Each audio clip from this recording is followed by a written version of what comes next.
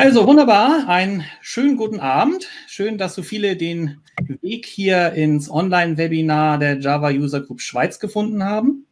Heute ein Talk auf Deutsch. Suchen und finden, Elasticsearch effizient einsetzen mit Alexander Resen. Der wird sich hoffentlich gleich nochmal, ich glaube, du hast sicher auch so ein Vorstellungsslide von dir, ne? oder Alexander? Nee, aber ich erzähle gern was, kein Problem. ja. Aber erstmal etwas Administratives vorweg, wie immer. Ähm, dass wir überhaupt solche Dinge hier machen können, das verdanken wir natürlich unseren ganzen Sponsoren, die wir haben, die uns auch hier in der Corona-Zeit weiterhin zur Seite stehen, so dass wir auch weiterhin Events machen können. Und wir hoffen natürlich auch, dass wir bald mit Präsenz-Events auch wieder loslegen können. Das erste hatten wir gerade letzte Woche in Basel, ist sehr gut gelaufen. Und jetzt werden hoffentlich weitere folgen. Hier im äh, Big Marker habt ihr oben rechts die Möglichkeit, den äh, Chat zu nutzen und dort miteinander zu diskutieren. Äh, dieser Chat, der ist für euch als Teilnehmer. Dort könnt ihr euch austauschen, äh, äh, diskutieren, äh, was ihr eben besprechen möchtet. Wenn ihr eine Frage an Alexander habt, dann geht bitte rechts vom Chat auf die Fragen, klickt dort auf Fragen und äh, stellt eure Frage dort in dem Bereich, denn äh, dann werden wir sie dort ähm, ja, dem Alexander weiterleiten. Er wird sie dann zwischendurch beantworten. Wir haben hier bei Big Marker eine kleine Verzögerung, die liegt so zwischen 10 und 15 Sekunden. Äh, das liegt daran, dass wir auf dem Server zuerst einen Puffer aufbauen, so dass es möglichst keine Unterbrüche gibt. Und dort wird dann auch noch für euer jeweiliges Endgerät optimiert, je nachdem, mit welchem Gerät ihr gerade den Stream anschaut. Es gibt also, wie gesagt, so eine kleine Verzögerung. Am Schluss des ganzen Vortrages, äh, auch nach den Fragen und Antworten, wenn wir die abgearbeitet haben und das Webinar beendet wird, dann äh, werdet ihr automatisch auf den Feedbackbogen der Java User Group Webseite weitergeleitet. Dort könnt ihr dann Feedback zum Talk geben, zum Speaker etc. Das ist immer sehr wertvoll. Wir werden das Ganze auch auswerten und dem Alexander weiterleiten. Wenn ihr nach dem Feedbackbogen eure E-Mail-Adresse hinterlegt, also das ist ein separates Formular, die sind nicht miteinander verbunden, dann könnt ihr dort eine Jahreslizenz von IntelliJ IDEA Ultimate gewinnen, eine personalisierte Jahreslizenz. Wir verlosen eine Lizenz pro Monat. Und der Juni ist bald rum, also Feedback geben. Dann kommt ihr zu dem Formular. Der Talk wird aufgezeichnet. Ähm, das wird ein paar Tage dauern, bis wir den dann entsprechend nachbearbeitet haben und äh, aufbereitet haben. Und dann werden wir den in unserem YouTube-Kanal veröffentlichen. Bitte abonniert uns dort und wenn ihr eine Benachrichtigung haben möchtet, dass der Talk online ist, dann nicht vergessen, auf diese kleine Glocke zu klicken. Dann bekommt ihr auch eine Push-Nachricht beziehungsweise E-Mail von YouTube. Wir haben auch einen Slack-Kanal, dort könnt ihr euch auch gerne miteinander unterhalten. Das ist immer aktiv, nicht nur, äh, wenn wir hier einen Talk haben. Dort erreicht ihr auch uns als äh, ähm, Organisatoren der Java User Group, auch die Ursula, wenn ihr administrative Fragen habt. Ähm, ja, bitte meldet euch auch dort. Äh, das ist immer sehr, äh, äh ein sehr kurzer Draht zu uns. Ja, das wäre es dann soweit mit meinem administrativen Vorgeplänkel. Ich übergebe jetzt an den Alexander und werde mich bis zum Schluss erstmal zurückziehen. Wünsche euch viel Spaß. Und ja, Alexander, jetzt kommt dein Part. Vielen Dank. Ja, sehr schön. Ich probiere hier mal gerade, ob das mit dem Bildschirmteilen funktioniert. Wie immer neue Technik. Ihr solltet jetzt im besten Fall eine Präsentation sehen. Markus, du kannst das ja gerade nochmal bestätigen. Ja, stimmt. Sehr gut. Dann äh, hat das schon mal exzellent geklappt. Ähm, ja, herzlichen Dank erstmal, dass äh, ihr doch relativ zahlreich erschienen seid, um ein bisschen was über Elasticsearch zu erfahren. Das Wichtigste für mich ist, dass ihr viele Fragen stellt. Das ist auch eigentlich der Teil, den ich mit am meisten bei Meetups, die nicht stattfinden, vermisse. Und zwar der eher interaktive Part. Das heißt, wenn ihr Fragen habt, packt sie in den Chat. Ich werde mir auf jeden Fall die Zeit nehmen, alles zu beantworten. Ähm, auch weil die Präsentation jetzt irgendwie keine 90 Minuten dauern sollte.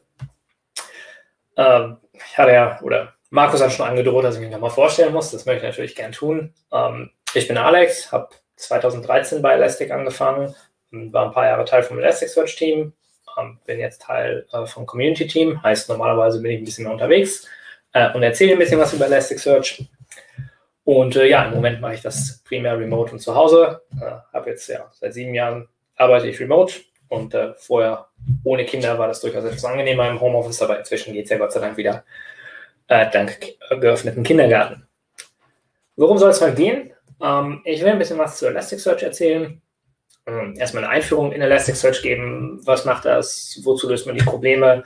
Ähm, aber auch der praktische Teil soll nicht zu kurz kommen und gerade im Zusammenhang mit Java. Ähm, wir haben eine Java User Group hier, das heißt, ich werde auch ein bisschen was zu äh, Spring Data Elasticsearch erzählen, ähm, der Spring Data Integration mit Elasticsearch. Und da können wir uns auch noch eine kleine App angucken mit ein bisschen Code, ähm, wie das alles funktioniert. Genau. Das ist so ein bisschen die, der, der Überblick für heute. Wir können alle unterschiedlichen Stellen auch unterschiedlich lang machen. Ähm, ich habe jetzt keine vorgegebenen Zeitfenster für irgendwas. Ähm, ich will am Anfang nur noch mal ein bisschen genauer erklären, was ist so besonders eigentlich an Suchmaschinen und warum brauche ich das in meiner Anwendung. Ich äh, speichere ja schon meine Daten in vielen Fällen irgendwo. Ähm, dann will ich einfach kurz darauf eingehen, was Elasticsearch ist, ohne jetzt irgendwie technisch tief einzugehen. Und den Rest machen wir quasi ähm, wenn wir uns Spring Data Elasticsearch als Teil der Demo angucken, was genau Elasticsearch macht und wie es funktioniert. Ähm, und am Ende möchte ich aber gerne nochmal, nachdem wir dann gesehen haben, wie Elasticsearch funktioniert, auch innerhalb der Anwendung darauf eingehen, äh, was man noch so ein bisschen im Hinterkopf halten muss, wenn man halt, sobald man anfängt, Daten zu indizieren, sobald man anfängt zu skalieren, sobald die Datenmenge größer wird. So, die erste Frage ist natürlich, warum benötige ich eine Suchmaschine? Und äh, man könnte als Untertitel noch nehmen oder jeden anderen Data Store, aber ich denke, wir fangen mal mit der Suchmaschine an. Und Elasticsearch existiert eigentlich so ganz grob gesagt aus drei Gründen, die wichtig sind, um beliebige Daten zu empfangen. Das ist einmal Speed, Scale und Relevance. So, der erste Punkt ist Speed. Wenn ich irgendwie Suchanfragen stelle, möchte ich, dass meine Antworten möglichst schnell zurückkommen. Ich will keine Batch-Jobs, wo ich quasi nachts warte und dann zurückkomme und weiß, was für ein Ergebnis ich das habe, ähm, die auch Sinn machen können, wenn ich irgendwie petabyteweise Daten durchsuchen muss, ähm, sondern ich stelle eine Suchanfrage an das System und möchte im besten Fall, dass es in, in wenigen Millisekunden beantwortet wird. So, und diese Geschwindigkeit sollte nach Möglichkeit immer gegeben sein und nicht nur ausnahmsweise oder für bestimmte Daten.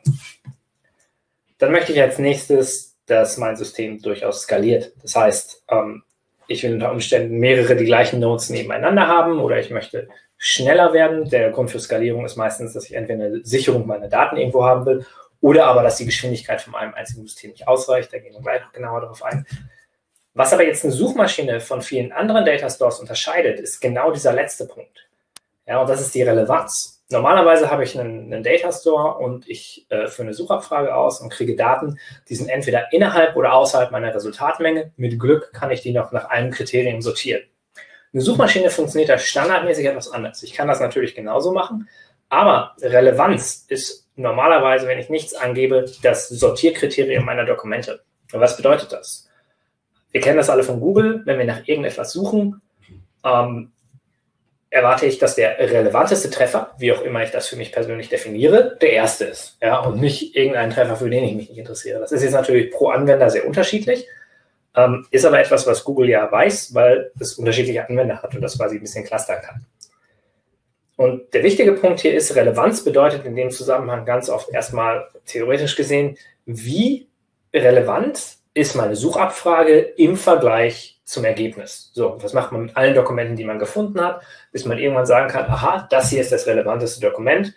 Ähm, das kann ein einfaches Kriterium sein, wie dieser Suchterm kommt genauso oft vor in dem Dokument oder es kann was Kompliziertes sein, dass ich sage, acht meiner zehn Suchterme sind in diesem Dokument und das ist viel mehr als in allen anderen. Also Relevanz ist ein ja, erstmal kompliziertes Thema. Am Ende ist es natürlich nur eine mathematische Formel, aber die kann man auf viele unterschiedliche Wege beeinflussen. Das heißt, man kann jetzt nicht sagen, das ist Relevanz und fertig. Es gibt unterschiedliche Algorithmen und Scoring-Algorithmen. Der Standard ist so BM25 im Moment. Und ähm, der wichtige Teil hier ist, standardmäßig wird quasi abgeglichen, wie wichtig ist ein Dokument im Vergleich zur Suchabfrage. Und dann gibt es natürlich noch sehr viel mehr Dinge. Ja. Wenn ich Dokumente suche, habe ich eben schon gesagt, ich wäre gerne möglichst schnell unterwegs. Dasselbe gilt natürlich auch fürs Indizieren und die Zeit, die zwischen Indizieren und Suchbarkeit äh, quasi ja, vorübergeht. Äh, wenn ich Dokumente indiziere, möchte ich auch sicherstellen, dass das möglichst schnell geht. Den nächsten Punkt, den wir haben, war die Skalierbarkeit. Ähm, auch da gibt es unterschiedliche Arten von Skalierbarkeit. Ähm, zum einen gibt es eine sogenannte Read Scalability. Wenn ich irgendwie ein System habe, das kann 10.000 Queries pro Sekunde ähm, verarbeiten und ich weiß, ich kann mir quasi eine Kopie der Daten direkt daneben stellen, dann weiß ich, ich kann so und so viele tausend Queries mit so und so viele Systemen äh, verarbeiten. Das Einzige, was ich dann sicherstellen muss, ist natürlich, dass ich die Daten immer in alle Systeme äh, repliziere. Äh, Write Scalability ist ein bisschen was anderes. Da habe ich quasi eine große Schreiblast und ich weiß, dass ein System vielleicht 100.000 Dokumente pro Sekunde initiieren kann.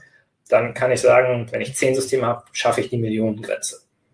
So, das heißt, ich muss meine, meine Schreiboperation quasi über den Cluster verteilen. Und in den meisten Fällen hat man natürlich eine Mixtur von beiden, weil man zum einen natürlich auf möglichst viele Systeme schreiben will, um diese Write Scalability zu haben, aber gleichzeitig zum einen eine Read Scalability haben will, aber auch ähm, Kopien meiner Daten an mehreren Orten, einfach nur um sicherzustellen, dass wenn ein Node ausfällt, ich keinen Totalausfall dieser Daten habe. Dann haben wir noch so die Anforderung der Resilienz, ähm, dass ich quasi ein System haben möchte, was selbstständig Fehler erkennt und diese Fehler auch selbstständig ausgleichen kann. Ja? Wenn jetzt in einem Cluster ein Node quasi nicht mehr verfügbar ist oder der Prozess gecrashed oder die VM nicht mehr zur Verfügung steht, möchte ich, dass sich dieser Cluster das automatisch rausfindet und natürlich auch, dass dieser Cluster darauf agiert. Wenn bestimmte Daten auf diesem ausgefallenen System sind, möchte ich, dass eine Kopie der Daten vielleicht woanders erstellt wird, um sicherzustellen, dass ich die ausreichende Menge an Kopien in meinen Daten in diesem Cluster habe. Und das ist der, der klassische Resiliency-Fall. Klar kann man das auch alles ähm, manuell lösen in vielen Systemen, aber dann sind wir beim nächsten Punkt, der, der Operational Simplicity. Ich will natürlich, dass das System möglichst einfach zu betreiben ist. Das ist jetzt immer einfacher gesagt als getan, gerade bei verteilten Systemen. Ähm, aber gewisse Dinge sollten automatisch passieren.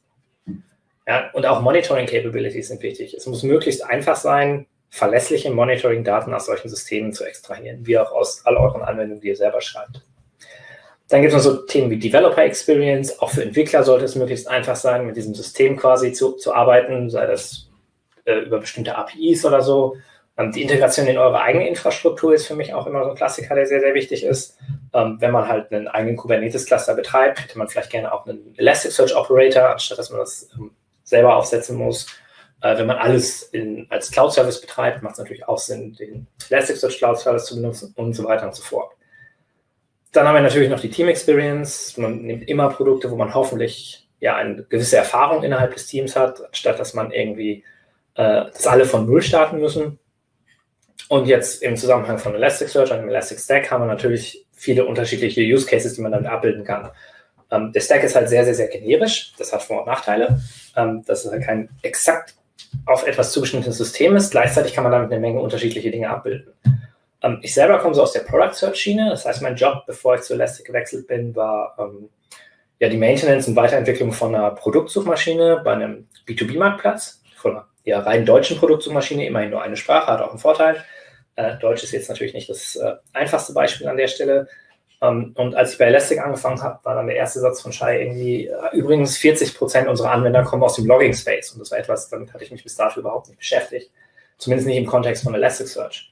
Und da kommt natürlich dieser Observability-Use-Case ein bisschen rein, dass halt die Anwender ähm, angefangen von, von APM über Traces, über Log-Aggregation, über Metrik-Aggregation und so weiter und so fort, den Stack dafür benutzen. Dann hat man das klassische Workplace Search, wo man halt File-Shares durchsucht, um all seine Daten innerhalb vom Intranet verfügbar zu haben. Und die, der Security Use Case, wo man quasi sicherheitsrelevante Daten, Blocks, ähm, ja, monitort. Ähm, vielleicht so noch der, der nicht ganz so klassische Einsatz, weil es gibt immer nur einen Anwender von solchen Dingen, ähm, ist Wikipedia. Es gibt nur eine große Wikipedia und dann vielleicht viele, viele kleine spezifische. Ähm, Wikipedia, alles, was ihr bei Wikipedia sucht, ist, ist eine Elasticsearch Query am Ende. Ähm, alles, was ihr bei GitHub sucht, ist eine Elasticsearch Query. Alles, was ihr bei Stack Overflow sucht, das sind so die, die klassischen Volltext-Such-Use-Cases, würde ich mal sagen. GitHub vielleicht ein bisschen weniger. Um, aber Stack Overflow und Wikipedia natürlich, plus die ganzen Themen wie Suggestions und so weiter und so fort, wo man dann natürlich auch am Ende einzelne Dokumente findet, während so der, der Observability Use Case, wo ich auf viele Dashboards gucke, das ist vielleicht mehr so der Fall von, ähm, von aggregationsbasierten Daten. Genau, wir wollen uns heute eigentlich nur mit, oder fast nur mit, mit Elasticsearch innerhalb des Stacks beschäftigen. Ähm, wir sehen noch ein bisschen mehr, vor allen Dingen was Observability angeht. Ich habe noch ein APM-Beispiel mitgebracht. Ähm, aber im Endeffekt geht es heute eher um diesen Elastic Stack, ein bisschen Elasticsearch, ein bisschen Kibana. Ähm, das System oder das Backend-System, was ich zeige, läuft in Elastic Cloud. Also ist, dass man sich selber um die Administration nicht kümmern muss und der Service wird über Covery deployed. Da gehen wir mal nachher noch ein bisschen genauer drauf ein. Genau, das ist im Endeffekt der Stack. Den Stack kann man sich auf, wenn man die, die anderen Lösungen oben drauf sieht, so ein bisschen als als Mix-and-Match-Lösung vorstellen. Ich kann mir halt aussuchen, welche Komponenten ich benutze. Äh, für die Security-Lösung brauche ich gewisse Beats. Äh, aber wenn ich selber das Ganze nur betreiben will, am Ende brauche ich nur einen Elasticsearch. Elasticsearch ist ein HTTP-Service und ich kann dann entscheiden, dass ich meine Ingestion-Pipeline selber schreibe oder dass ich Tools wie Beats oder Logstash verwende an der Stelle. Und Kibana ist so ein bisschen das Fenster in das Ganze. Ähm, das heißt, ich habe eine UI und die erlaubt es mir quasi so Management- und Monitoring-Aufgaben zu übernehmen an der Stelle. Genau, hier muss ich mich einfach irgendwann entscheiden, will ich Elasticsearch selber betreiben, will ich es von Elastic betreiben lassen, von jemandem anders, ähm, will ich Elastic als Kubernetes-Operator laufen lassen. Und das hier ist jetzt nur der Slide, um alle nochmal zu erinnern. Ähm, vieles, was Elastic macht, ist Open Source.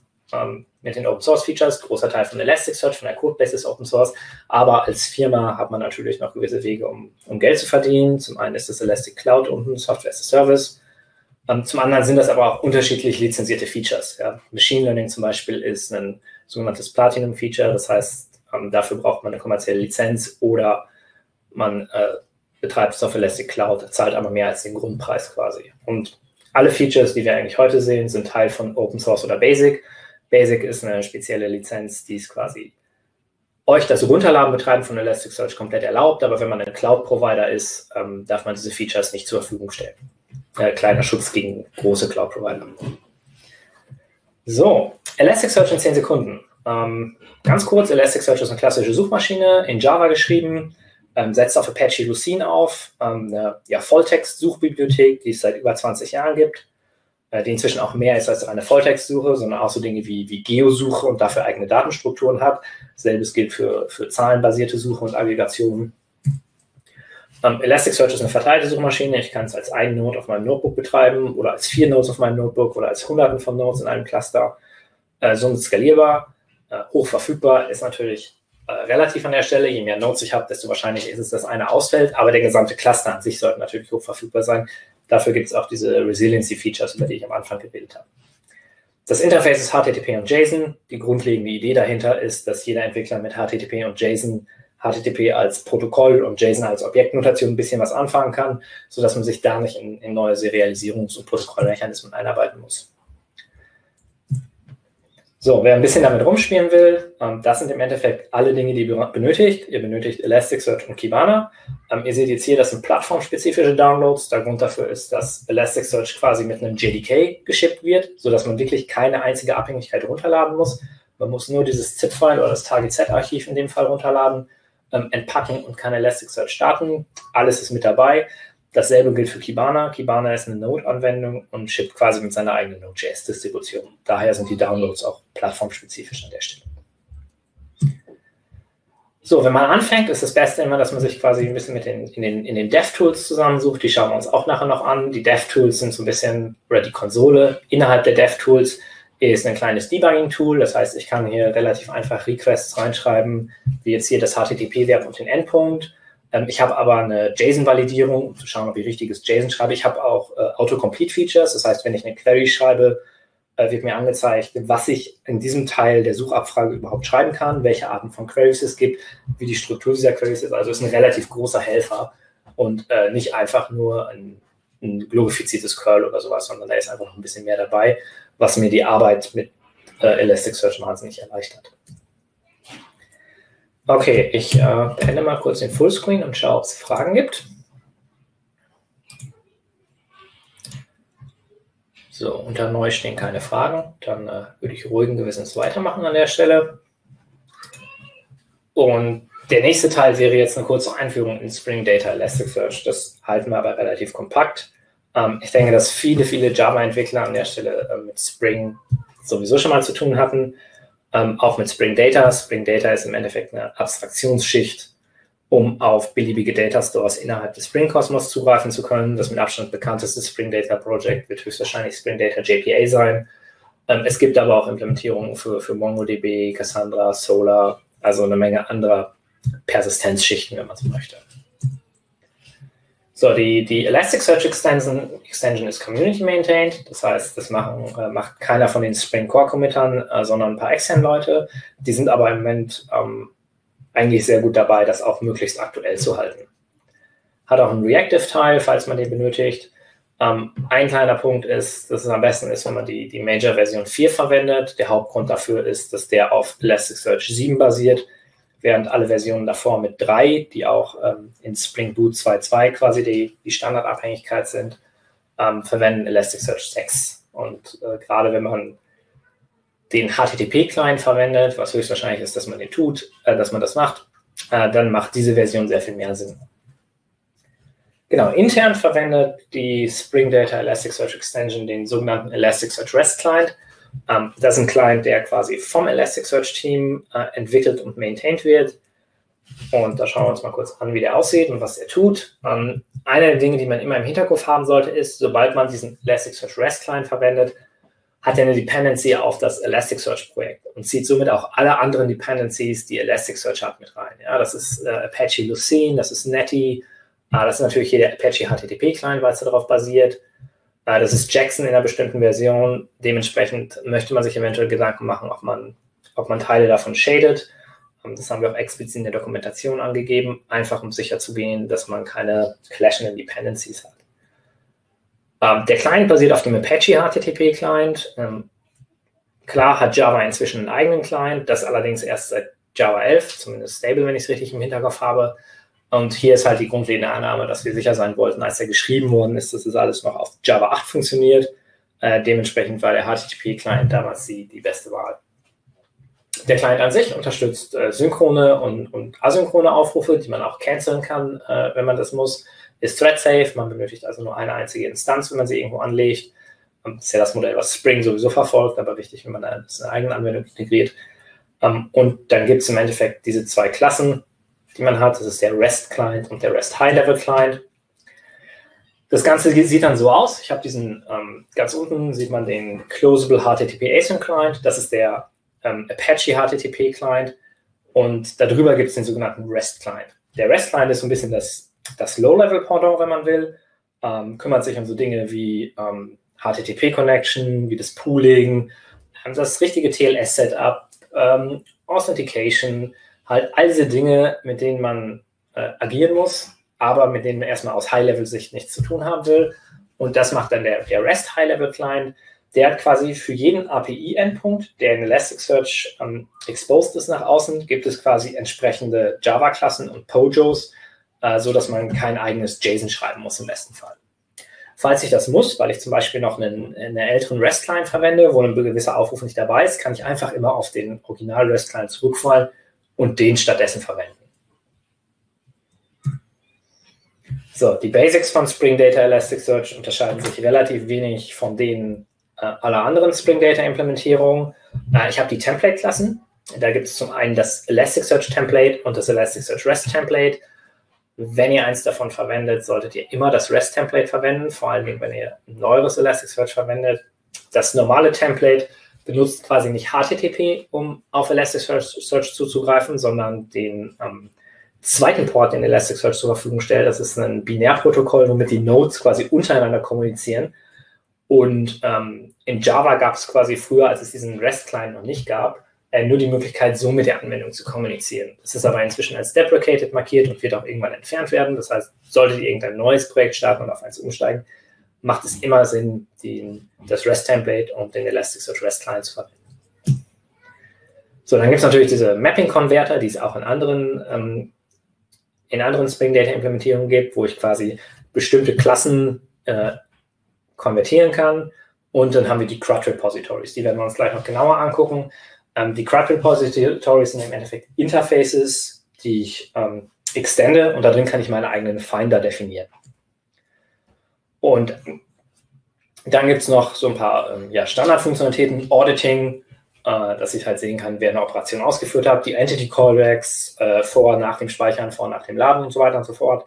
Ähm, und ein paar ja, spezielle Klassen, die halt auf Elasticsearch zugeschnitten sind, wie zum Beispiel, wenn ich durch eine große Menge an Daten ähm, durchsuchen will und ich weiß, da kriege ich jetzt irgendwie mehrere 10.000 Hits zurück und ich will mir jeden einzelnen Hit angucken, dann mache ich das nicht mit der Standardpaginierung, sondern dann ich Scroll Searching und auch da gibt es ein paar helfende Klassen quasi. Äh, das hier ist jetzt ein, ein, ein, Pojo ohne Getter und Setter, die würden natürlich noch dazukommen, ähm, aber auch hier sieht man, dass die Annotations relativ gleich aussehen zu, anderen äh, Spring Data Projekten. Ich habe hier oben meinen Index, den ich konfigurieren kann. Ähm, ich kann hier oben noch ein paar Settings einsetzen. Auf das Create Index False gehen wir nachher noch ein. Dann habe ich die ID Annotation. Das ist quasi die, die Unique ID, der Identifier. Ähm, ich kann äh, Validations verwenden, aber hier ist das, das Field der interessante Part. Hier kann ich quasi das Mapping konfigurieren, wenn ich möchte. Ähm, hier mache ich das quasi für ein Datum mit einem, mit einem bestimmten Format. Und hier habe ich auch nochmal ein Keyword. Ähm, Arrays können automatisch erstellt werden. Das heißt, wenn ich eine Liste habe, äh, wird bei der Serialisierung automatisch ein Array davon erstellt und dann wird quasi jede Person da drin nochmal komplett serialisiert. Äh, oder einen Point, um quasi Geopoint-Anfragen zu machen. So, die Repositories schauen wie folgt aus. Im besten Fall kann man das schlicht und ergreifend leer lassen, wenn man keine weiteren Methoden braucht. Äh, ich habe jetzt ein User Profile Repository, wenn ich eine User Profile Entität habe. Ähm, und dann kann ich erstmal Entitäten laden, speichern, ähm, modifizieren äh, oder auch danach suchen, indem ich eine Suchanfrage mit angebe. Natürlich kann ich jetzt auch meine, meine dynamischen Finder mit angeben, wie Find by E-Mail, dann würde in dem E-Mail-Feld gesucht werden.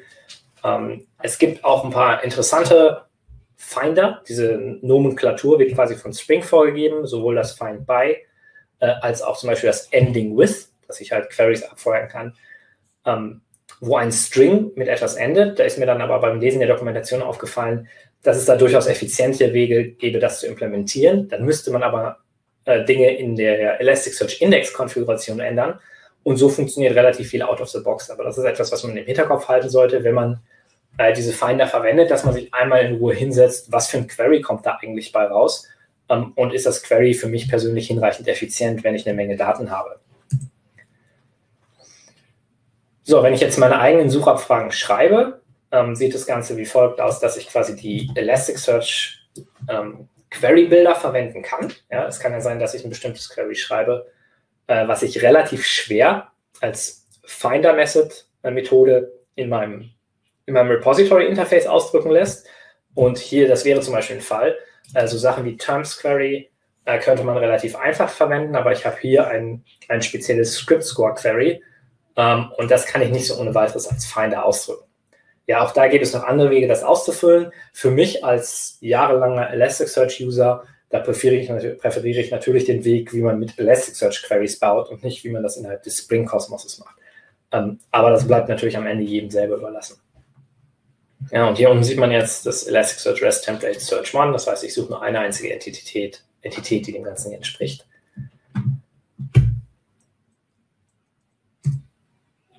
So, man kann natürlich auch einfach Dinge zählen. Ähm, in dem Fall habe ich jetzt hier wieder meinen, meinen Boolschen Query Builder ähm, und dann gibt es eine Count-Methode mit dem Elasticsearch REST Template. Das ist also wieder kein User Repository. Ähm, und dann kriege ich nur die Anzahl der Dokumente, die dieser, dieser Suchabfrage entsprochen habe, ohne aber ein einziges Dokument zu sehen. Manchmal reicht es einem ja auch einfach zu wissen, wie viele Dokumente gibt es. Und was man auch machen kann, und das ist halt auch Teil von dem ähm, Repository-Features innerhalb von Spring Data, dass ich quasi eine Methode definieren kann, wie Count Recent Contributions, und dann kann ich das Query selber angeben. Ähm, normalerweise benutzt man ein sogenanntes Query String Query, und hier kann ich jetzt innerhalb der Query Annotation sagen, wie das Query aussehen soll.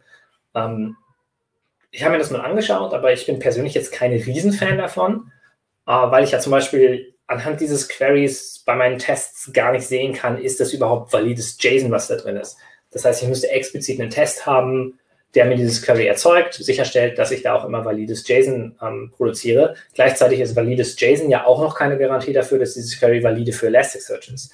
Das heißt, ich müsste vom Testing her sowas haben wie Test-Containers mit einer echten Elasticsearch-Instanz, um das Ganze dann nochmal wirklich richtig zu testen, falls ich so eine Query-Annotation verwende.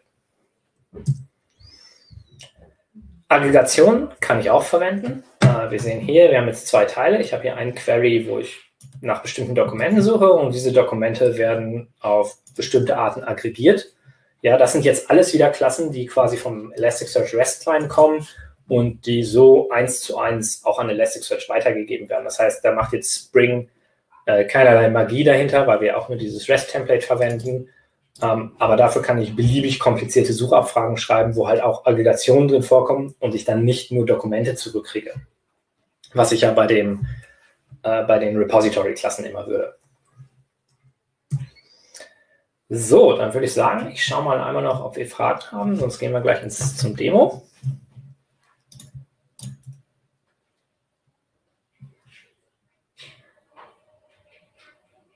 So, da steht erstmal, dass alles flüssig ist. Das beruhigt mich. Ah, Thomas hat einen Test geschrieben. Hoffe ich hart, dass er nicht hochgestimmt wird, aber das heißt zumindest, dass Fragen funktionieren. Ähm, schauen wir uns das Demo an. Das Demo sieht erstmal wie folgt aus. Ähm, Könnt ihr euch auch selber, könnt ihr selber aufmachen, ist hier unter Link Rating. Ich kann das mal gerade noch in den Chat kopieren. Ähm hier. Und das ist einfach eine kleine Spring Boot-Anwendung, die ich geschrieben habe. Ähm, was macht die? Die fragt im Hintergrund einen Elasticsearch ab und basierend auf dem Alter des Artikels und der Anzahl der Stimmen wird hier quasi eine Reihenfolge ähm, ausgewählt, wie wichtig so, solche Links sind. Ja, hier zum Beispiel, dieser Link hat wahnsinnig viele Votes, das heißt, er ist sehr weit oben, obwohl der Artikel eigentlich schon relativ alt ist. Äh, hier sehen wir jetzt zum Beispiel, dass ein Artikel, der nur zwei Monate alt ist, aber nur 25 Stimmen hat, wichtiger gesehen wird als ein Artikel, der 37 Stimmen hat, aber auch schon vier Jahre alt ist. Ja, das war so mein meine Suchabfrage beinhaltet quasi, such mir alles, was irgendwas beinhaltet, äh, wo ähm, zum Beispiel dieser Suchterm drin ist. Aber die Relevanz basiert quasi auf der Anzahl der Votes und wie alt ein Dokument ist. Äh, wer sich quasi für dieses Spring Boot Projekt interessiert, da gibt es hier den, den Link, Springscale slash Link Rating auf GitHub, könnt ihr gerne auschecken und selber damit rumspielen ähm, und das auch lokal, entweder lokal deployen oder ich habe das deployed, indem ich Covery benutzt habe. Ähm, das könnt ihr euch im Endeffekt vorstellen wie so eine Art äh, Heroku. Jeder Push auf meinen Branch führt dazu, dass dieses System automatisch ausgerollt wird. Ähm, und ich relativ wenig tun muss, außer hoffen, dass, dass meine Tests passen und das alles funktioniert. So, wir können uns jetzt einmal kurz angucken, wie diese App eigentlich aussieht oder wie die, die Datenstruktur dahinter aussieht. Das ist jetzt die Elasticsearch Instanz in Elastic Cloud, die die Daten beinhaltet. Und da schauen wir uns mal die DevTools gerade an. Ich mache das hier alles nochmal etwas größer. Ähm, wenn wir uns die Indizes anschauen, sehen wir, dass wir hier eine Menge administrative Indizes haben. Aber wir haben hier unten auch einen Index 001. Beziehungsweise ich müsste auch ein Links-Alias haben. So, das heißt, da sind meine Nutzdaten drin. Ähm, und da sehen wir jetzt, dass ein einziges Dokument besteht aus Titel, Kategorie, Beschreibung, URL, äh, wer das submitted hat. Also man kann sich hier auf der Anwendung, ähm, kann man sich hier über, über GitHub einloggen und authentifizieren und dann könnte man quasi einen, einen neuen Link submitten, wenn man das wollte. Äh, da ist auch ein Approval-Prozess mit drin, also sind mehrere Schritte an der Stelle. Ich bin Administrator, ich könnte auch Links löschen. Ähm, all das ist halt Teil dieser, dieser kleinen Mini-Anwendung. Und die Authentifizierung funktioniert über Sprint Security und, und GitHub OAuth. So, da steht noch, wann das Ganze erstellt worden ist, ähm, ob das approved worden ist. Das heißt, darf das überhaupt angezeigt werden? Diese Suche auf der Hauptseite ähm, geht auch davon aus, dass, es, äh, dass ein Link approved sein soll. Ähm, hier sieht man nochmal, welche Klasse das ist. Das ist vielleicht ganz praktisch, äh, wenn man mehrere Klassen hat äh, in seinem Index, die zum Beispiel voneinander vererben. Ich habe irgendwie eine Klasse Event und dann ist das ein Meetup ähm, oder ein Webinar oder eine Konferenz oder sowas. Äh, dann kann ich natürlich anhand dieses Underscore Class Attributs sehen, als was das äh, Spring Data Elasticsearch wieder serialisieren soll.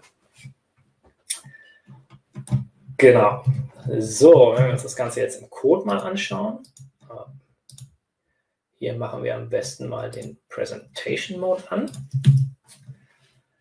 Äh, dann sehen wir, wir haben hier eine, eine Spring Boot Application. Äh, man sieht jetzt hier noch, ich habe den, ich monitore das alles noch mit APM. Das können wir uns gleich noch genauer angucken. Ähm, und dann gibt es zwei Entitäten, Link und User. Der User ist der, der sich ein, einloggt. Hier mit diesen Daten stelle ich halt sicher, dass kein User mehr als einmal wählen kann pro Entität. Und dann habe ich hier quasi den Link mit, mit all seinen Ausprägungen, vieles als viel Keyword.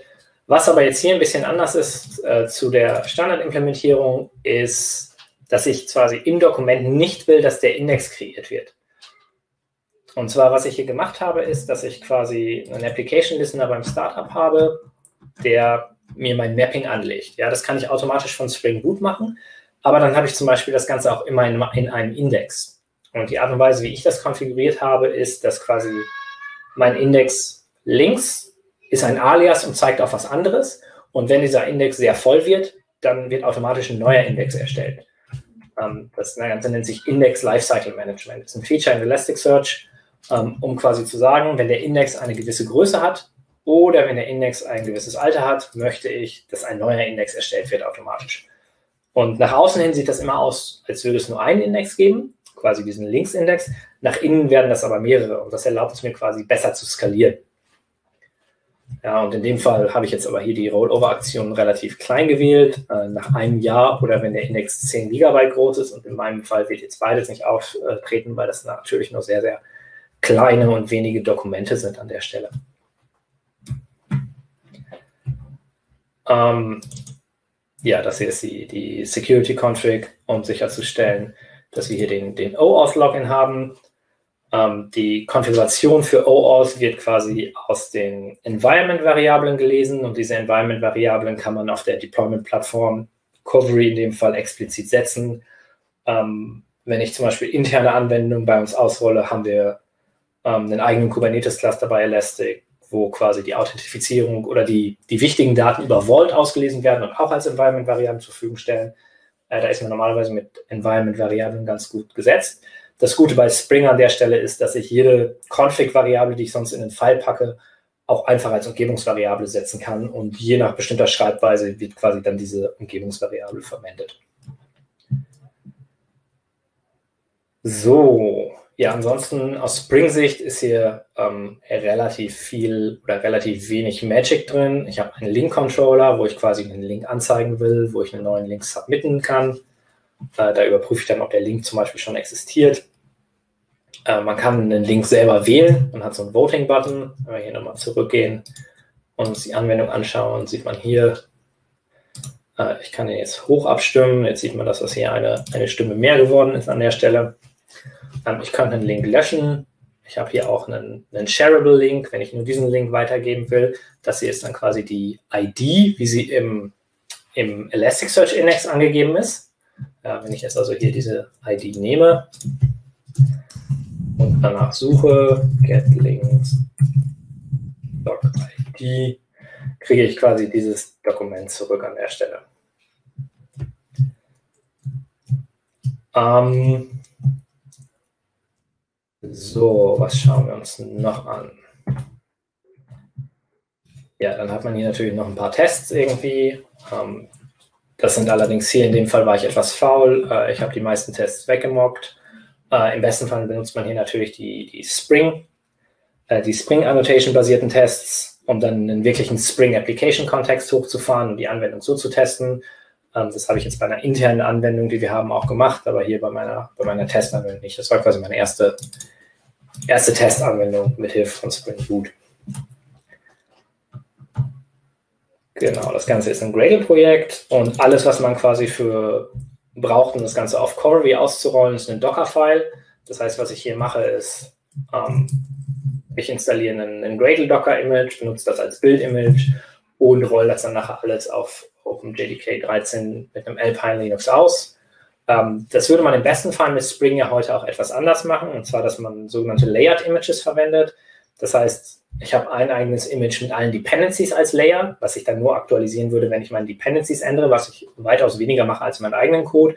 Und dann darunter nochmal ein Image, wo quasi nur meine Jar-Datei drin ist, die wirklich nur meinen Code beinhaltet, sodass auch die, die Docker-Images äh, möglichst schnell aktualisiert werden und ich nicht immer hier so ein 70 Megabyte Archiv durch die Gegend schieben muss.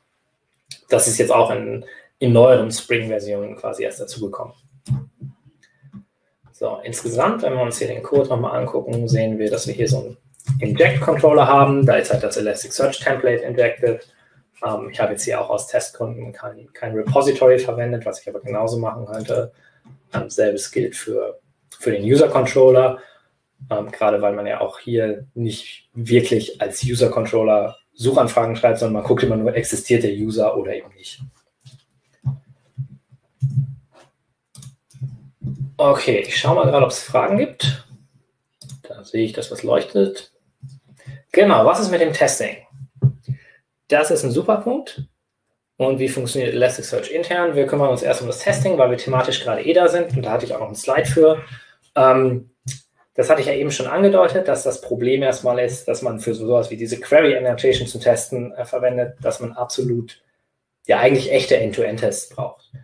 Ähm, und der Weg, wie ich es machen würde, ist nicht das Embedded Testing, sondern ist das Test-Container-Testing. Test-Container ist ja ein, ein, Framework, womit man beliebige Docker-Container hochfahren kann. Ähm, das wartet dann, bis der Docker-Container hochgefahren ist, hat so Health-Checks drin und dann kann man quasi diesen Data Access Layer testen. Und da gibt es einen Elasticsearch Test Container, der kommt auch schon so mit. Ähm, man kann auch so Sachen wie Basic OS ganz nett da drin konfigurieren.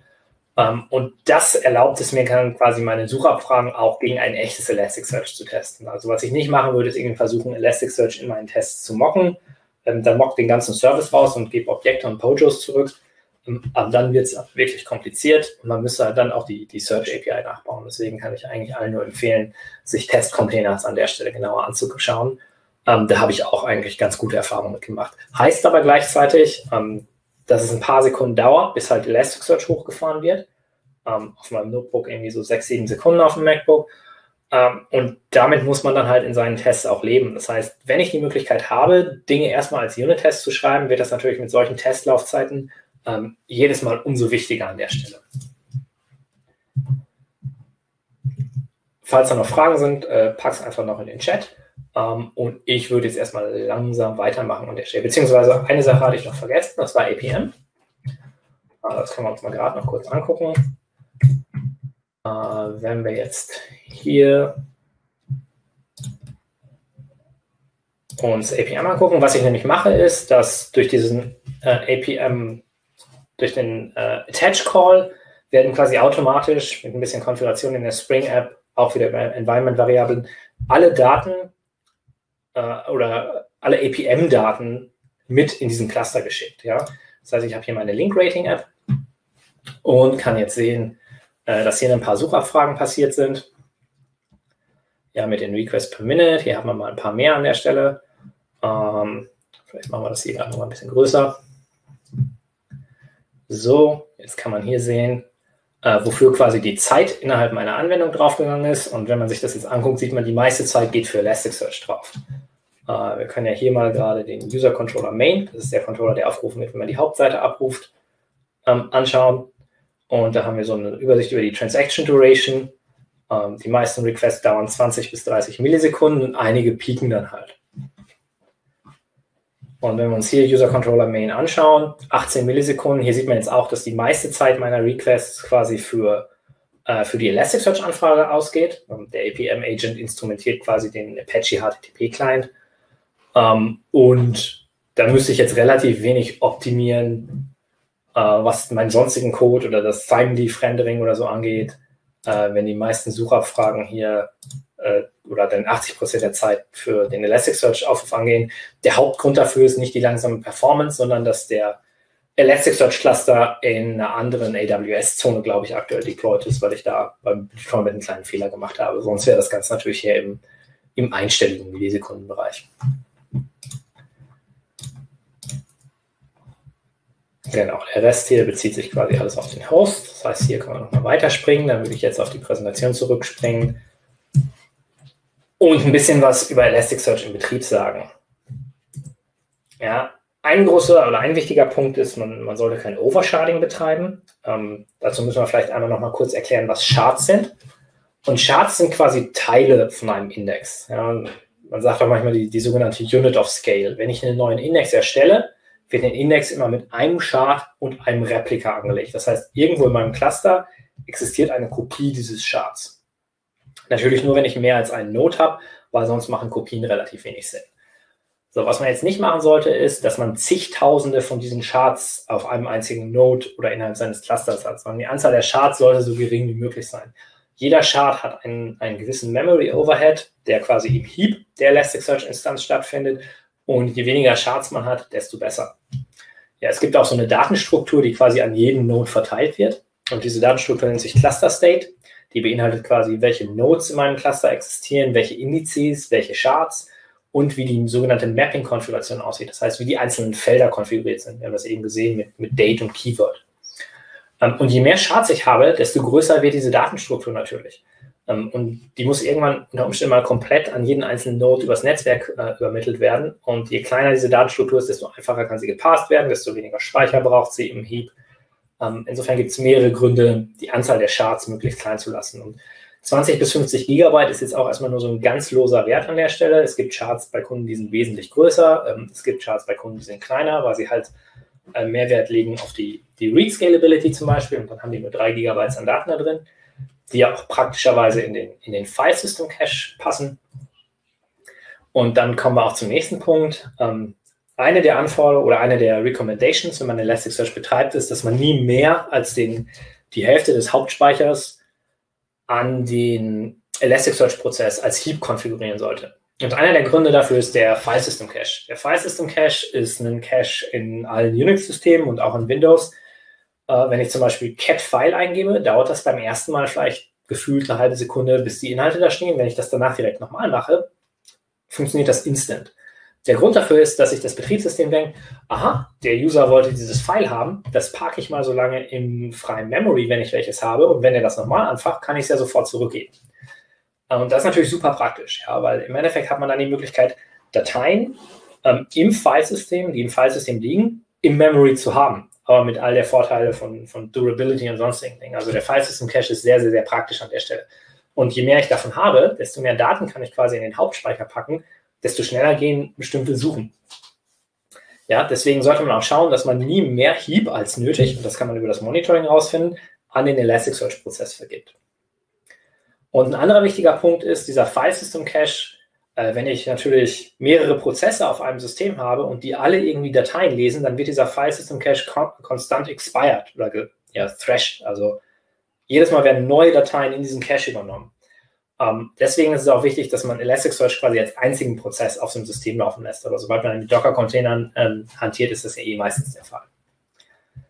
Ja, dann ist es wichtig, äh, wenn man eigene Daten hat und man weiß, die haben eine gewisse Größe und man muss sicherstellen, dass sie eine gewisse Performance haben, äh, bei Suchanfragen, bei Indexoperationen, dann muss man diese Tests mit seinen eigenen Daten durchführen. Und dazu gibt es ein Tool namens Rally. Ähm, das sieht oder das kann quasi solche Graphen erstellen. Standardmäßig erstellt es nur ähm, ja, JSON oder Text-Output. Aber was wir im Endeffekt mit diesem Output machen, ist, dass wir den jeden Nacht, wir haben sogenannte Nightly Benchmarks und indizieren die quasi in Elasticsearch. Und das machen wir für den Master Branch und noch für ein paar andere Branches, dass wir jeden Tag eine bestimmte Anzahl an Tests, die sieht man ganz oben, mit bestimmten Daten, also ein Geonames Dataset, eins mit Geopunkten, einmal ganz normale HTTP-Logs durchlaufen. Und dann schauen wir morgens, ah, okay, hat sich irgendwas verändert. Und wenn dann irgendwie ein ganz großer Anstieg ist, wissen wir, okay, wir haben irgendetwas in den Master Branch committed, ähm, was ein echtes Performance-Problem darstellt. Bitte schau sich das mal jemand an. Da müssen wir natürlich erstmal gucken, welcher Commit das war. Manchmal lässt sich das einfach rausfinden manchmal nicht, weil es innerhalb von 24 Stunden 100 neue Commits gegeben hat. Ähm, aber das ist so der, die grundlegende Idee von unseren Benchmarks, dass wir halt äh, Performance Regressions rausfinden, bevor wir ein neues Produkt releasen. Und wir haben auch Annotations, man sieht das jetzt ganz unten ganz gut. Da gibt es einmal äh, Move the Terms Index Off Heap, äh, was im Endeffekt heißt, dass ähm, ein File quasi jetzt nicht mehr im JVM Heap residiert, sondern nur noch vom File System Cache äh, und via Memory Mapping geladen wird. Ähm, und da sieht man natürlich, dass dann der, der Java-Prozess sehr viel weniger Heap benötigt, ähm, was gleichzeitig auch heißt, dass man dann den Prozess mit einer neuen Version weniger Heap geben sollte. Das war zum Beispiel eine Änderung in Elasticsearch 7, 7 wenn ich es richtig im Kopf habe. So, wer sich mehr für dieses ganze Thema Capacity Planning und Charts interessiert, es gibt ein eigenes Webinar dafür. Ähm, ich werde die Slides natürlich nachher auch noch online stellen und den, den Link gerne weiterleiten. Ähm, und da wird auf viele unterschiedliche Aspekte eingegangen. Ja, ist, ich meine, am Ende hat man halt ein System, das ist limitiert. Und das ist halt aus Storage-Sicht limitiert. Das heißt, ich habe im besten Fall SSDs für alle meine Nodes. Im schlechtesten Fall äh, habe ich so viele Daten, dass ich vielleicht aus ökonomischer Sicht lieber äh, Hard, äh, Spinning Disks hätte für Daten, die etwas älter sind. Äh, was ich nie haben sollte, ist eine, eine Network Attached Storage, also da, wo ich zusätzliche Latenzen habe, weil ich Daten erst übers Netzwerk speichern kann, so NFS oder sowas, ähm, dann brauche ich natürlich Speicher. Ähm, der File System Cache, da gilt die Regel, je mehr, je besser. Ähm, und beim JVM Heap muss man halt konstant schauen, habe ich genug Speicher? Wenn nicht, brauche ich mehr. Oder habe ich permanent genug Speicher, dann kann ich den vielleicht noch weiter reduzieren. Äh, dann braucht man natürlich äh, Compute-Ressourcen, das heißt, ich brauche CPU. Wofür? Ähm, zum einen zum Indizieren, zum anderen aber auch zum Suchen. Ja, das sind so die, die beiden größten Treiber. Ähm, und die, die Thread Pools, die Elasticsearch verwendet, äh, basieren quasi auf der Anzahl der CPUs. Das heißt, wenn ich jetzt einen Docker-Container habe mit einer CPU, werde ich insgesamt relativ wenig Threads am Laufen haben. Wenn ich sage, okay, ich habe acht CPUs, habe ich viel mehr Threads am Laufen, kann aber gleichzeitig auch viel mehr Suchanfragen und viel mehr Indexanfragen parallel bearbeiten an der Stelle. Und natürlich Netzwerk. Ähm, je schneller, je besser. Ich denke, die meisten haben heute ein bis zehn Gigabit. Äh, da muss man ein bisschen aufpassen bei Cloud-Providern, ähm, weil da steht dann äh, Netzwerkgeschwindigkeit so und so viel Gigabit und dann ist da so ein Sternchen und da steht dann irgendwie Burst Rate dahinter. Ähm, das heißt, dass sie das eine gewisse Zeit beibehalten können und dann zusammenfallen. Ähm, oder nicht zusammenfallen, sondern halt ähm, ja, reguliert werden oder äh, dass sie Traffic Shaping machen. Ähm, und das ist ganz wichtig, dass man dann halt einen Test macht, der nicht 20 Minuten dauert, sondern dass man das auch mal 1, 2, 3, 4, 5 Stunden durchlaufen lässt, wenn man einen Test macht. Einfach nur, um sicherzustellen, dass nicht irgendwo das Network dann ähm, der, der Bottleneck ist und man hat wirklich schnelle Systeme oder Systeme, die schnell genug sind, weil der Anwendungsfall gering ist, aber dafür ist dann das Netzwerk ein Problem. Ja, das sind natürlich auch alles Dinge, mit denen muss man sich umso mehr beschäftigen, wenn man das Ganze selber betreibt. Äh, wenn man einfach sagt, ich lasse Elasticsearch als in, in Elastic Cloud laufen, dann hat man natürlich nur so einen Slider, wo man sagt, ich brauche so und so viel Platz und so und so viel Heap. Okay. Eine Sache, auf die ich heute nicht so stark eingegangen bin, sind, sind Mappings und Queries. Ähm, Mappings können wir uns gerade nochmal ganz fix angucken, dass wir mehr Zeit haben, auch gleich noch für Fragen. Ich gehe mal kurz nochmal in die DevTools.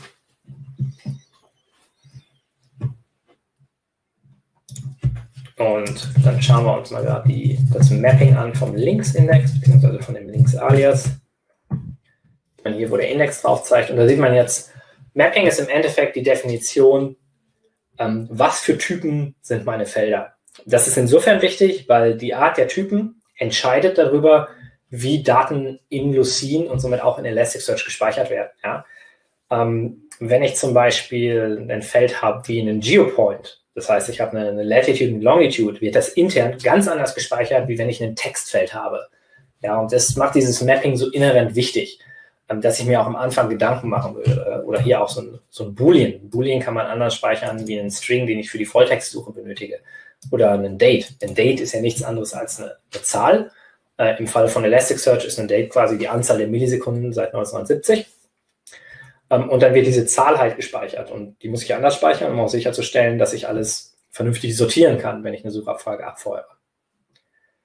Na, hier habe ich nochmal ein spezielles Feature bei den Votes. Das ist ein Rank-Feature. Ähm, auch da werden Daten speziell gespeichert, um sie für ein bestimmtes Query, was ich abfeuere, was quasi diese Abstimmungsanzahl ähm, zum Scoring mit hinzufügt, damit das funktioniert.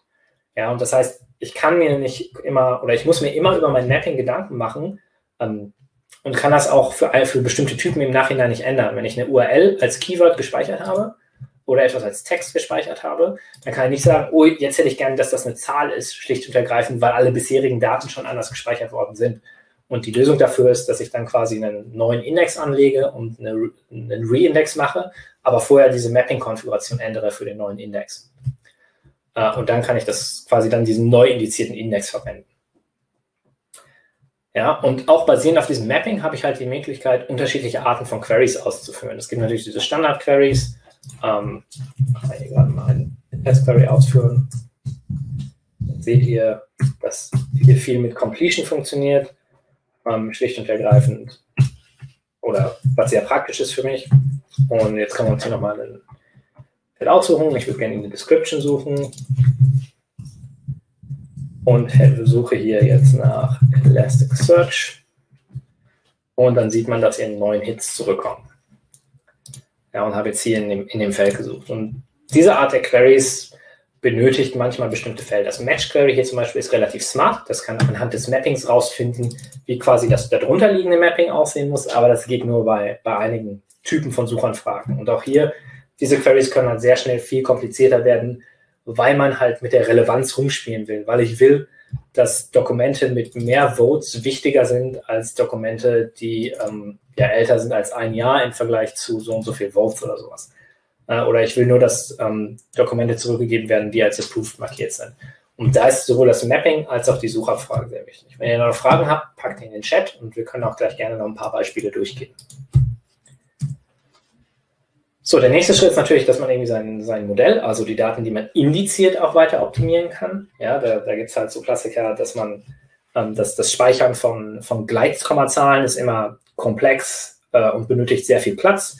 Wenn ich zum Beispiel eine Zahl habe wie 1,34, ähm, dann kann ich über mein Mapping auch konfigurieren, dass diese Zahl eigentlich als 134 gespeichert wird, aber intern bei Berechnung anders gehandhabt. Man spricht ja von einem sogenannten Scaled Float.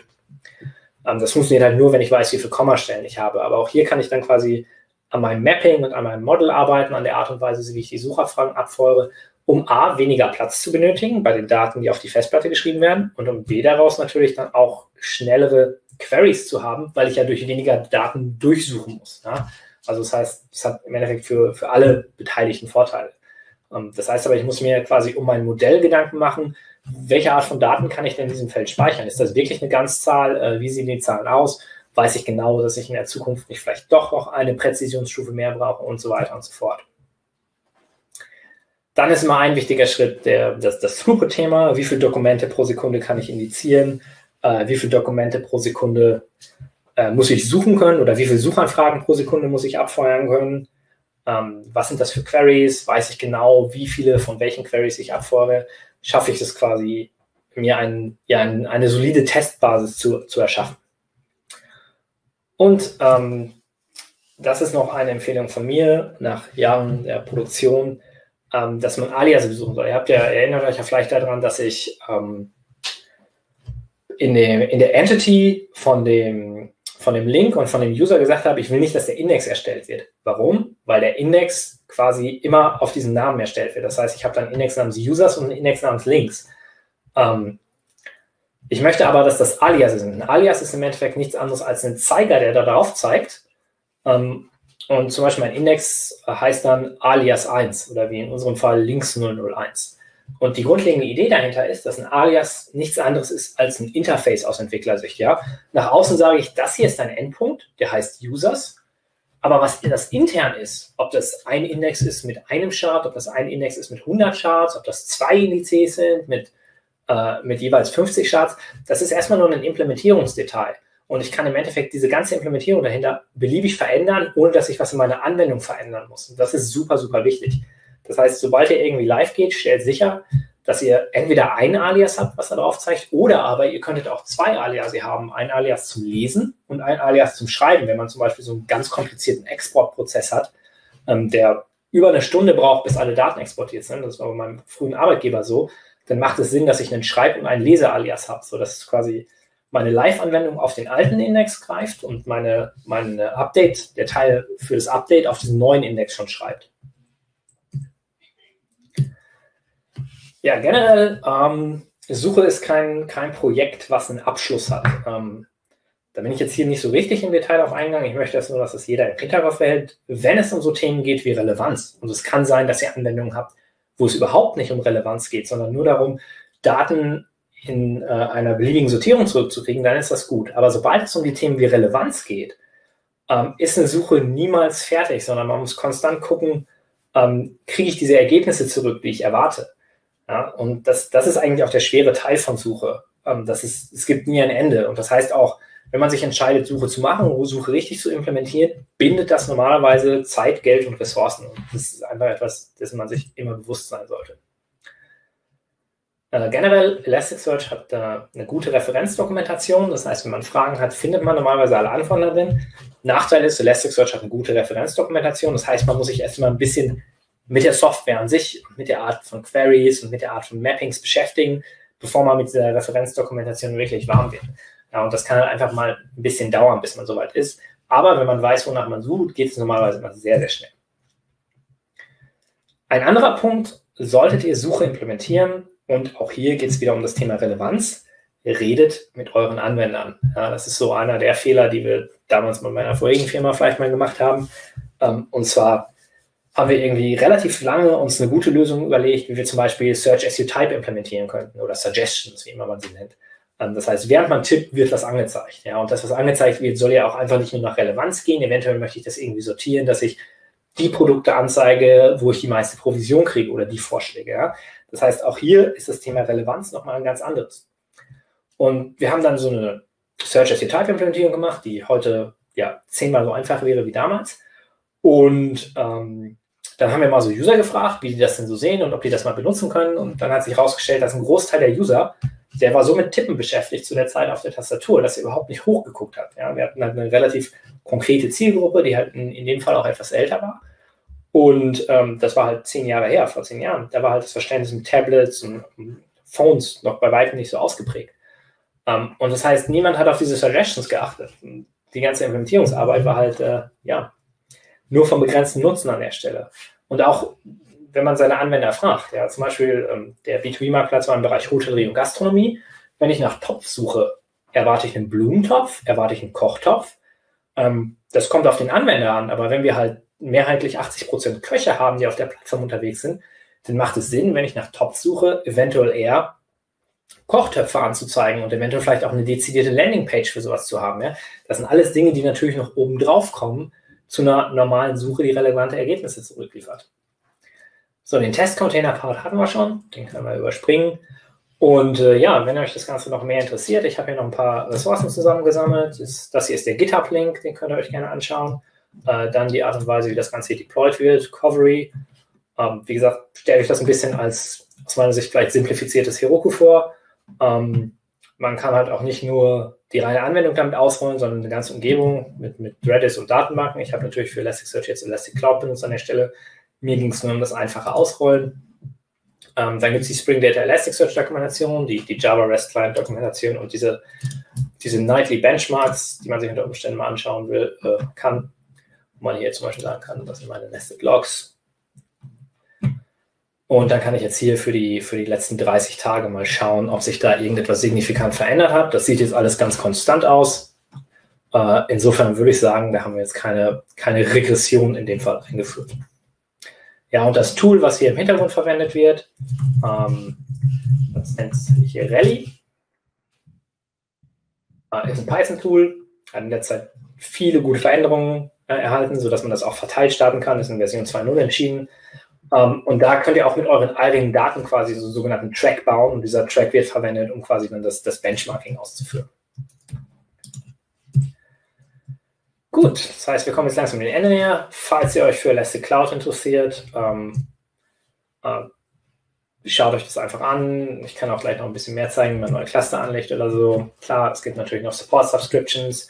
Wenn ihr Fragen habt, und das ist jetzt immer einer meiner wichtigsten Punkte an der Stelle, ähm, es gibt ein dezidiertes Discussion Forum. Es gibt auch Dinge wie Stack Overflow, da lesen auch Leute, aber auf unserem Discuss Forum lesen mit Abstand die meisten unserer eigenen Entwickler.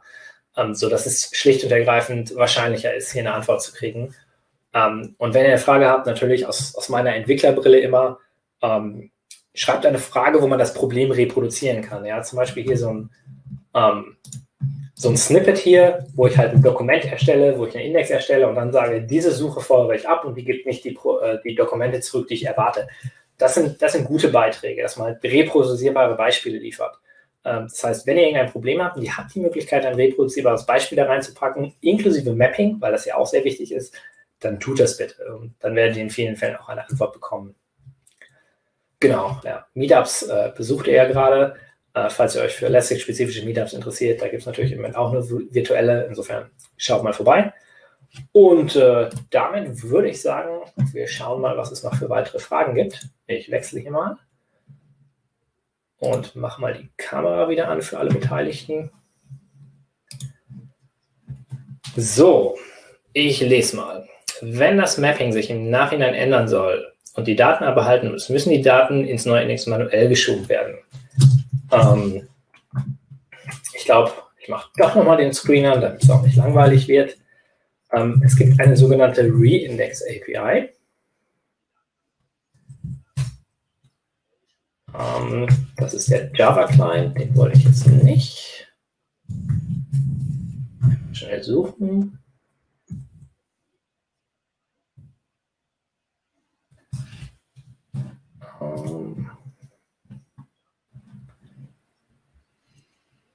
So, diese Reindex API erlaubt es mir quasi mit einem einzigen Kommando vom einen auf den anderen Index zu indizieren. Mal kurz schauen, ob ich es finde oder ob ich einfach schlicht und ergreifend zu blind bin in unserer eigenen Dokumentation. Aber das ist kein Problem. Äh, was wir dann quasi machen können, ist, wir können einfach einen Index A anlegen und sage Alex. So, und wenn ich jetzt sagen würde, ich müsste irgendwas in B ändern, zum Beispiel, wenn wir uns jetzt den Index A anschauen, dann sehen wir, dass das Feld Name ein sogenanntes Multifield ist, was aus Text und Keyword besteht. Und vielleicht will ich das gar nicht durchsuchen, dann nimmt man normalerweise so ein Keyword-Field.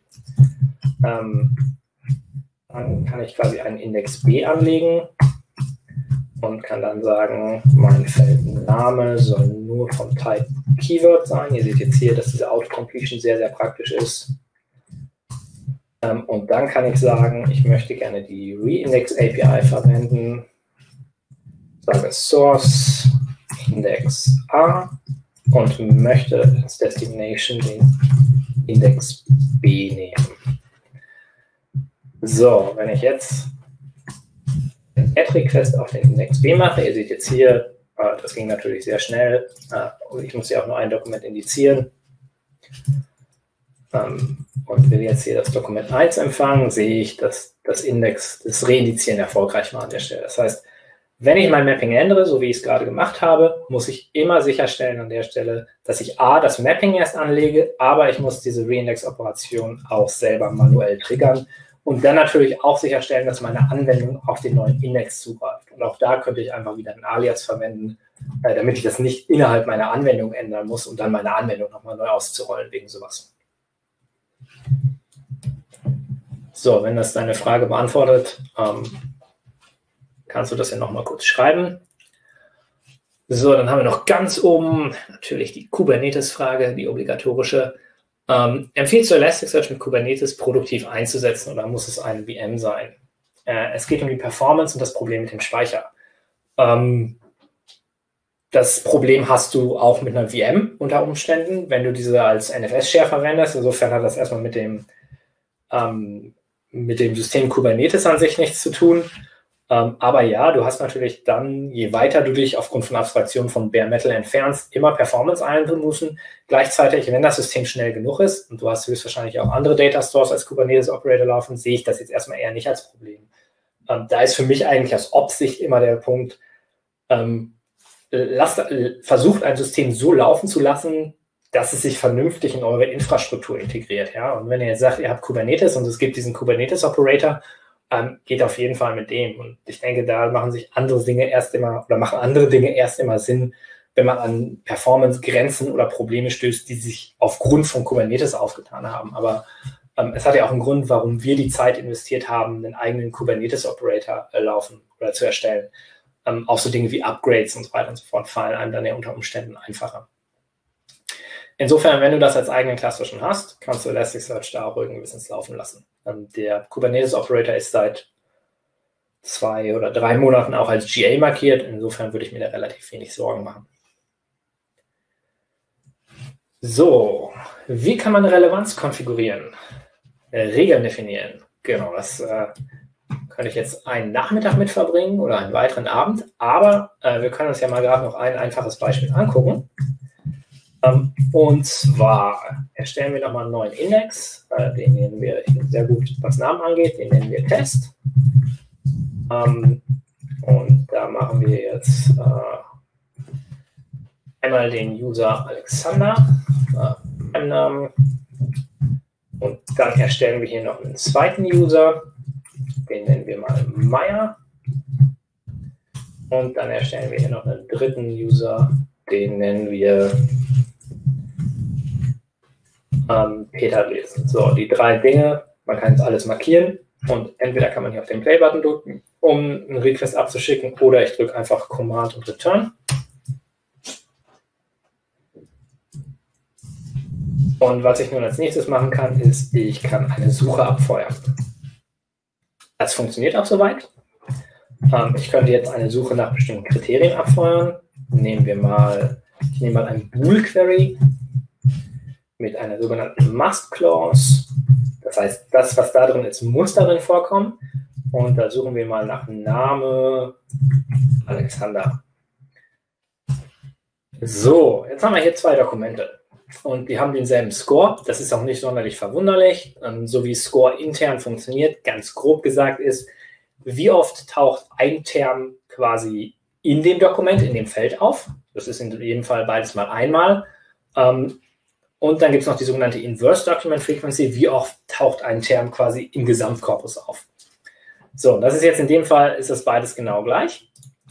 Ähm, aber vielleicht möchte ich, äh, narzisstisch wie ich bin, ja unter Umständen mich selber etwas hochscoren. Und die einfachste Art von Relevanz ist ein sogenanntes Should Query. Und das ist quasi jetzt auch der Unterschied zu, zu anderen Data Stores, äh, wo ich sagen kann, ich möchte gewisse Dinge wichtiger bewerten. Und in dem Fall machen wir hier mal ein Match Query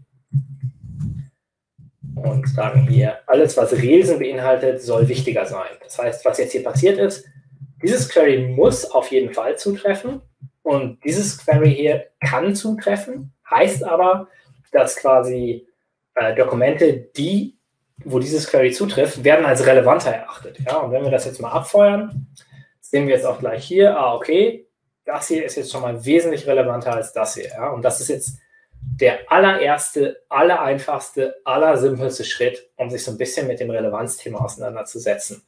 Ähm, es gibt noch so viele weitere Dinge wie das, das, klassische Boosting. Wenn ich zum Beispiel mehrere Felder abfrage, möchte ich, dass das Feld First Name vielleicht wichtiger oder äh, mehr gewichtet wird als das Feld Last Name. Ähm, ich möchte unter Umständen, dass ich einen Vektor mit in meine Suche einbeziehe. Es gibt einen dezidierten Vektor-Data-Type, äh, wo ich sage, dass ich zum Beispiel die Präferenz von einem Anwender eher berücksichtigen kann. Ähm, wenn ich weiß, dass dieser Anwender bestimmte Bücher oder Kriterien an Büchern als wichtiger erachtet, dann kann ich das in meinem Query, wenn ich diese Daten auch gespeichert habe, durchaus berücksichtigen und sage, ah, okay, dieser User hat eine Präferenz für günstige Bücher. Wenn ich das als Feature-Vektor gespeichert habe, kann dann sagen, das würde ich gerne bevorzugen. Und ähm, es gibt, ich glaube, 15 unterschiedliche Queries irgendwie. Auch das, ähm, das Query, was wir vorhin ganz kurz gesehen haben, the Rank Feature Data Type, äh, wo ich sage, dass ein Dokument wichtiger sein soll, wenn es mehr Votes hat. Das wäre auch ein Teil von diesem, von diesem Should-Query hier, äh, wo man dann sieht, ah, okay, ähm, so und so viele Votes, ähm, oder nicht so und so viele Votes, sondern wenn das mehr hat als der Durchschnitt, wird es höher geboostet. Ähm, Gleiches gilt zum Beispiel für, für das Alter. Ja, wenn das Dokument jünger ist als oder maximal ein Jahr alt ist, soll es als wichtiger erachtet werden, als wenn es zwei Jahre alt ist. Das ist so der klassische Use Case für eine News-Seite. Ähm, nur, dass wir da wahrscheinlich von Stunden reden und nicht von Tagen. Ähm, dass halt ja Recency quasi ein, ein sogenanntes Signal ist und dieses Signal als Teil des Scoring berücksichtigt wird. Und da gibt es Dutzende verschiedene Möglichkeiten und man muss da sehr vorsichtig sein, wie man Dinge ausprobiert und testet. Ähm, aber ich hoffe, dass das die Frage beantwortet hat. So, den letzten Teil, äh, wie funktioniert Elasticsearch intern? Ähm, ich denke, da kann man einfach nochmal darüber äh, reden, dass wir ganz kurz sagen, es basiert auf Apache Lucene. Und Apache Lucene bedeutet an der Stelle, ähm, dass man quasi eine Fulltext-Suchbibliothek hat, die das verwendet. Und der grundlegende, die grundlegende Datenstruktur dahinter ist ein invertierter Index. Also das, was ihr von eurem Buch am Ende kennt. Ihr schlagt ein Buch auf. Ah, okay, dieses Wort zeigt auf diese Seite. Und bei dem Buch und bei dem Index ist es normalerweise so, dass da natürlich nur die wichtigsten Terme drinstehen. Bei dem invertierten Index ist es, dass da normalerweise alle Terme drinstehen. Und aufgrund dieser Datenstruktur ist halt so ein, so ein Anwendungsfall wie die, wie die Volltextsuche sehr, sehr viel performanter, weil ich nur einen, einen Lookup für diesen Term machen muss, sehen muss, ah, okay, diese Dokumente sind da drin. Und wenn ich zum Beispiel jetzt eine Ohrverbindung habe, muss ich einfach nur die Liste an Dokumenten-IDs, die matchen, mit einem Ohr verbinden. Wenn ich einen End habe, wird das unter Umständen noch viel schneller gehen. Ähm, und natürlich, auch da muss man dazu sagen, Lucene ist seit 20 Jahren auf diesen Anwendungsfall optimiert. Also es macht halt einige Dinge noch viel smarter als dieses dumpfe Konzept, was ich gerade erläutert habe. Dinge wie Leapfrogging, ähm, neue Datenstrukturen, wo ähm, Dinge wie zum Beispiel das Speichern von Geoshapes auf einmal ein Drittel der Größe benötigt, aber tausendmal schneller ist. Und man denkt auch immer, in diesem ganzen Information Retrieval Bereich gibt es keine Verbesserung mehr, es wird nicht schneller. Das stimmt aber nicht. Es gibt nach wie vor Papers, die vielleicht sechs, sieben Jahre alt sind, die aber erst ganz langsam in die, in die Open Source Produkte mit einfließen. Ähm, zum Beispiel seit Lucene 8 gibt es halt ähm, die Möglichkeit, dass ein Query sich während es ausführt, kann es quasi entscheiden, welche Dokumente überhaupt noch möglich sind, in die Top 10 zu kommen oder in die Top 100. Und dann wird das Query quasi beim Laufen optimiert, was dazu geführt hat, dass einige Anwendungsfälle bis zu 40 mal schneller waren. Ähm, das sind halt Dinge, die dauern etwas länger, weil man erst einige vorbereitende Dinge machen muss, aber ähm, Suche an sich und auch die darunter liegende Technik wird nach wie vor sehr aktiv weiterentwickelt. Ich hoffe, das beantwortet die Frage etwas. Wunderbar. Vielen Dank, Alex, äh, dass du dir auch so viel Zeit genommen hast, die ganzen Fragen zu beantworten. Äh, super. Sehr interessanter Vortrag und ich fand auch äh, ziemlich gute Fragen dabei. Ja, auf jeden Fall. So, jetzt noch mal kurz ein paar Informationen zum heutigen Abschluss. Äh, der Talk, das hatte ich am Anfang schon erwähnt, äh, wurde aufgezeichnet. Wir werden den jeweils aufbereiten und in den nächsten Tagen auf YouTube zur Verfügung stellen. Bitte abonniert uns dort, dann bekommt ihr automatisch eine Nachricht, sobald der Talk dort verfügbar ist. Ja, Slack kennt ihr schon. Und äh, noch ein Aufruf wir sind daran interessiert, äh, wenn ihr selber etwas Interessantes mitzuteilen habt, dass wir euch auch die Plattform geben, äh, einen Talk durchzuführen. Wir sind auch daran interessiert, wenn ihr Ideen habt, was ihr gerne hören wollt, äh, wenn ihr euch für bestimmte Themen interessiert oder Speaker vorschlagen wollt, dann wendet euch bitte an uns. Das könnt ihr über Slack machen, das könnt ihr über E-Mail machen, info at jug.ch, übers Kontaktformular auf unserer Webseite. Dann könnt ihr uns auch persönlich ansprechen sind wir sehr daran interessiert. Wir haben auch noch weitere Events. Gleich übermorgen kommt das nächste Event von Adam Bean, Web für Java-Entwickler. Und äh, jetzt muss ich kurz rechnen. Nächste Woche müsste das sein. Es muss nicht immer Angular sein von Simon Martinelli. Also zwei weitere Talks, beide auf Deutsch. Ähm, ja, hören sich auf jeden Fall sehr interessant an. Ja, das war es eigentlich soweit. Wir sind durch mit unserem Webinar. Das werde ich jetzt in wenigen Sekunden beenden. Nach dem Beenden habt bitte ein kleines bisschen Geduld. Es wird ein paar Sekunden dauern und dann werdet ihr automatisch weitergeleitet zum Feedback-Formular. Bitte füllt es aus. Das ist für uns wichtig, äh, das Feedback. Das ist für den Speaker wichtig. Und äh, wenn ihr möchtet, könntet, könnt ihr hinterher auch noch eure E-Mail-Adresse in einem zweiten Formular hinterlassen und nimmt dann an der Verlosung der IntelliJ-Lizenz für den Monat Juni teil. Ja, das war's soweit. Vielen Dank. Vielen Dank dir, Alex. Und vielen Dank euch, dass ihr alle hier wart. Ich wünsche euch noch einen schönen Abend. Auf Wiedersehen. Ciao.